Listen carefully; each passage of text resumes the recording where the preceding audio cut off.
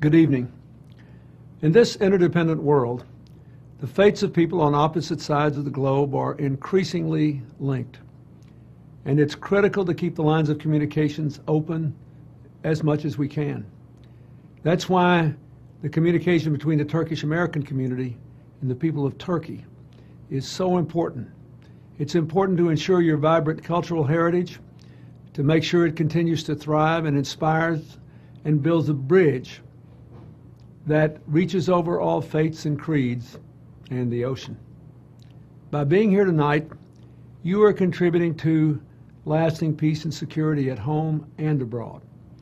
You're contributing to the promotion of the ideals of tolerance and interfaith dialogue, inspired by Fethullah Gulen and his transnational social movement.